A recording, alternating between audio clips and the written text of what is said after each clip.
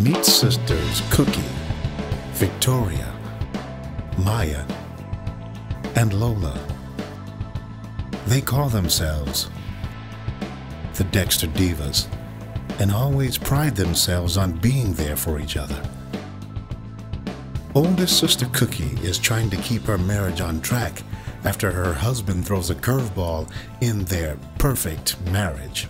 Victoria is trying to lose excess weight off her body, as well as dead weight in a slacker live in boyfriend.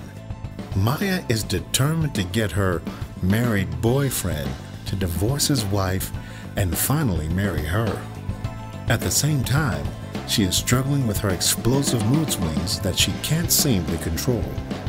And Lola, the baby of the family, is finally trying to move past the violent death of her son's father and allow love into her life once again.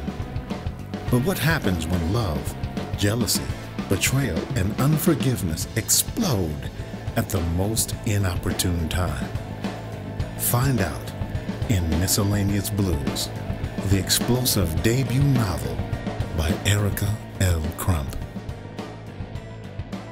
Read what some are calling the hottest novel since Waiting to Exhale.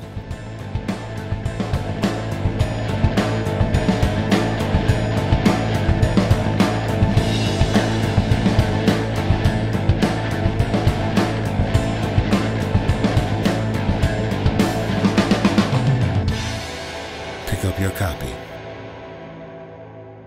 today.